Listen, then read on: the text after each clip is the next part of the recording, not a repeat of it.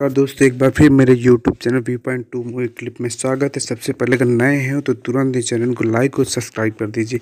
आज आप लोगों को एक ऐसी मूवी की बताना चाहूँगा, जो कि 1990 में कश्मीरी पंडितों के साथ एक कबर दुर्घटना हुई थी। वही मूवी में आपको बताना चाहिए इस मूवी की आप ज़रूर से ज़रूर देखिए कि बहुत ही अच्छी हिंदुत्व के लिए बहुत अच्छी मूवी है। इसमें सन 1990 कश्मीरी पंडितों को आतंकवादियों ने ज़बरदस्ती उन्हें मार पीट कर अत्याचार कर करके उन्हें वहाँ से भगा दिया था। ताकि वो लोग आजकल बहुत परेशान हुए थे, वहाँ बहुत उनको दिक्कतों का सामना करना पड़ा था। और कोई नहीं, आतंकवादी थी थे। आतंकवादियों ने इतना परेशान किया, इनकी बहन बेटियों बलात्कार भी किया।